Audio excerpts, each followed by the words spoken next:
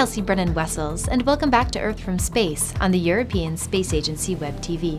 Sentinel 2A takes us to the Vanuatu archipelago in the South Pacific Ocean, roughly 1,700 kilometers east of Australia.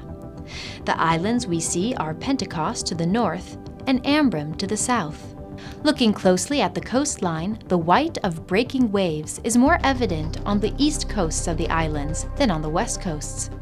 This is a common observation on islands that lie in a zone of the trade winds blowing mainly from southeasterly directions in the southern hemisphere. Zooming in on the dark area on Ambrym, red hot lava lakes can be seen through the clouds. This volcano has two active volcanic cones, and we can see smoke drifting out over the ocean to the west. The last time the Ambrym volcano erupted was in the year 1913, prompting the evacuation of nearby towns. Ambrym's 12 kilometer wide caldera was created around 50 AD by a large Plinian eruption, also called a Vesuvian eruption, because of the similarity with the explosion of Italy's Mount Vesuvius that destroyed the towns of Pompeii and Herculaneum. These types of eruptions are marked by columns of gas and ash that extend high into the stratosphere. They also eject large amounts of pumice. The volcano's slopes appear black owing to the presence of basalt.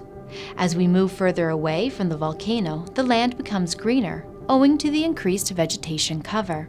Sentinel-2 was able to systematically map different classes of cover such as forest, crops, grassland, water surface, and artificial cover like roads and buildings. This information can be used to manage natural resources, to check the rates of deforestation, reforestation, and areas affected by wildfires. It can also help governing bodies and commercial enterprises make informed decisions about how to best manage, protect, and sustain our important forest resources. This image was captured by the Copernicus Sentinel-2A satellite on June 24th of last year.